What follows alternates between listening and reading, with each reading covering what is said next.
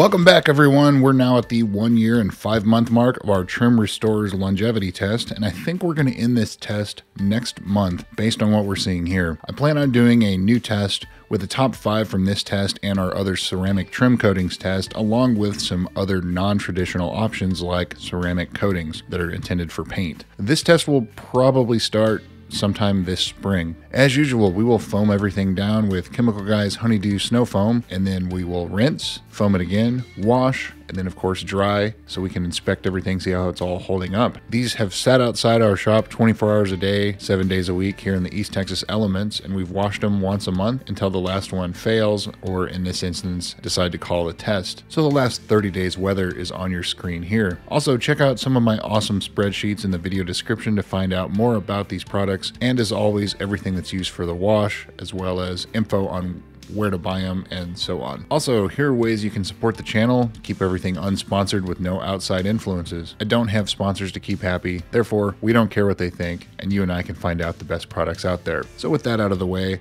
let's see how things are holding up.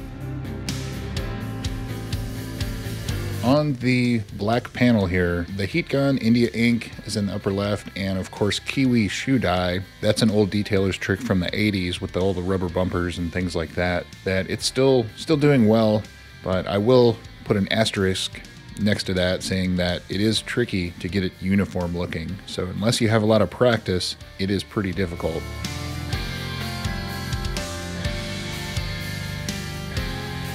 Rust-Oleum Wipe New, definitely a top performer along with Cerakote. Cerakote's starting to show a little bit of weakness compared to Rust-Oleum, and that black stuff looks great as well.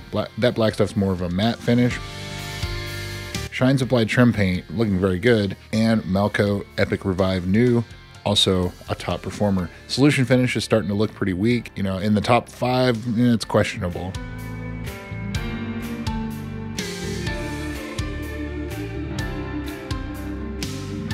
And so onto the gray panel, which seemed to be tougher for these products. And everything on the gray panel has two coats and the black panel has one coat, which basically to me it seems like it made no difference, one or two. You're just kind of going after the uniformity. So again, Rust-Oleum Wipe New, looking good. Cerakote not looking quite as good. And that black stuff didn't perform that well on this panel.